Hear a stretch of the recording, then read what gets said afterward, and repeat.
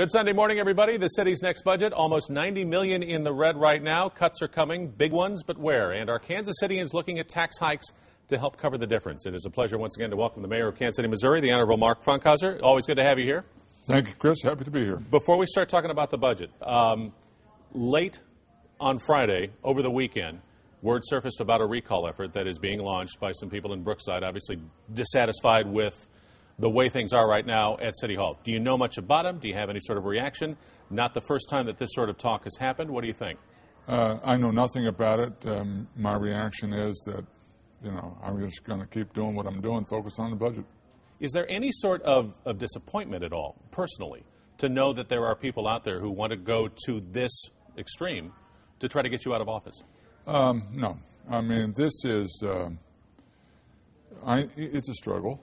It's, we disagree, obviously, uh, some of the people in the community and I. And, uh, you know, uh, change like this is never, um, never easy. Uh, I'm trying to change the direction of the city. I'm trying to take power from some people who have always had it.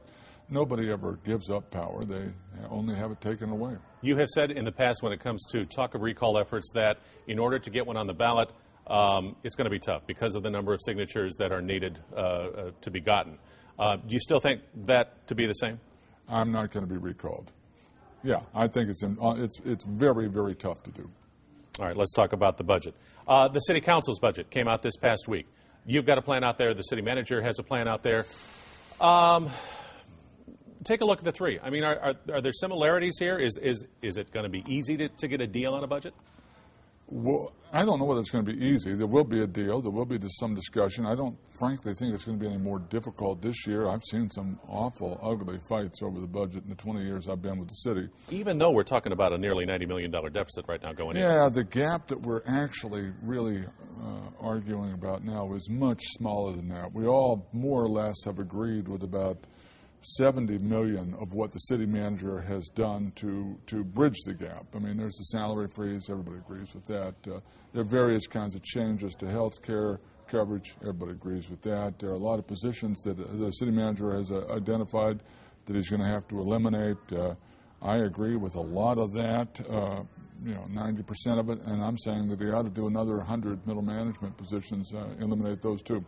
All right, you, you've said all along that as far as cuts to the police department, that's a non starter for you. But in reality, uh, Deb Hermann would tell you that there are going to have to, everybody's going to have to pay a price. There's going to be pain for everybody.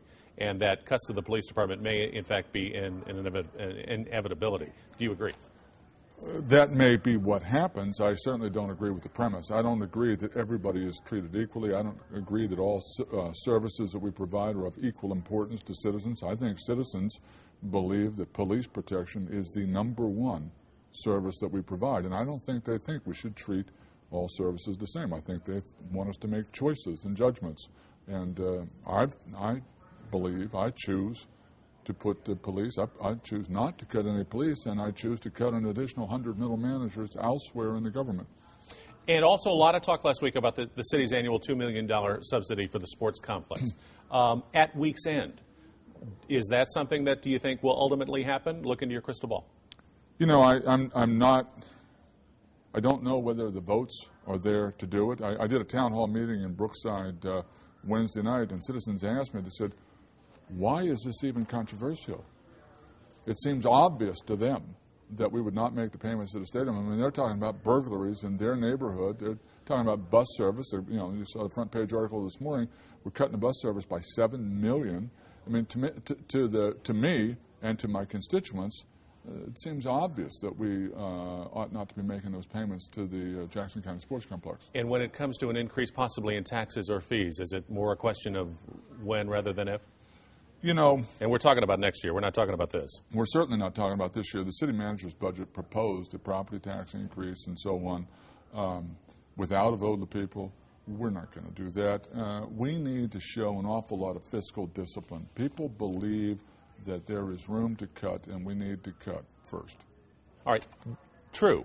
But when it comes to the final deal, when it comes to when this is all said and done, when everything, when the dust has settled, will there be an attempt to try to raise taxes in Kansas City, Missouri next year? You may necessarily not be for it, but do you think it'll happen?